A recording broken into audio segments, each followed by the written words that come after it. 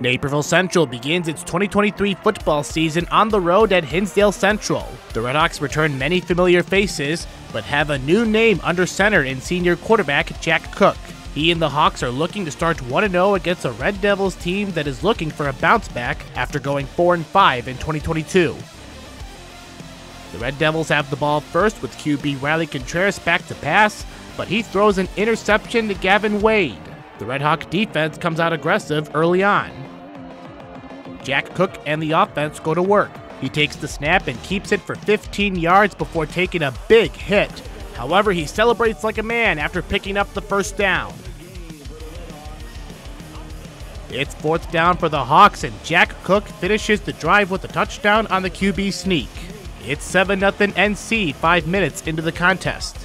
Devils retake the field, and Contreras says, Hey, I can run too. He keeps the ball on the option and runs for over 20 yards, setting up his team at midfield. Then Contreras is ready to pass and nearly gets brought down, so he thinks about running, but then throws up to Finn Cain for a 37 yard completion, putting the Red Devils in the red zone. First and goal for HC, and Joe Morrissey takes the handoff and takes it in for six to even the score at seven heading into the second quarter. They get the ball back, hoping to take the lead, but Contreras throws it into an ocean of white jerseys and it's intercepted by Logan Ellison. The Red Hawk defense continues to hold its ground. The Red Devils get another shot, and it's capped off with the 41 yard field goal from Ardit Abduai to make it 10 7 at the break.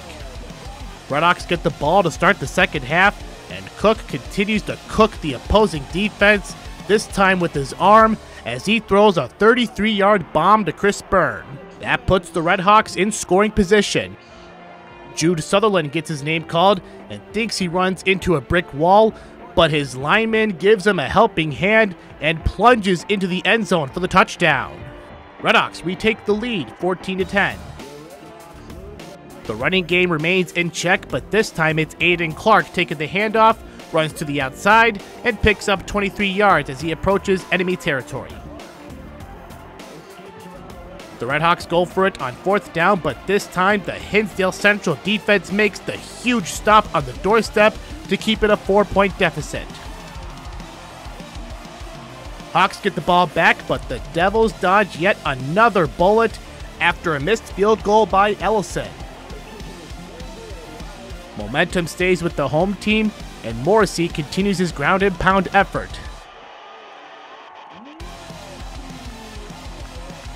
Red Devils need to convert to stay alive, and Contreras just gets it away, but the pass is incomplete, and Naperville Central takes over.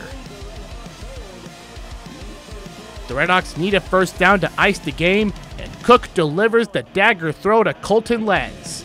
Naperville Central starts the year 1 0 after a defensive battle in Hinsdale.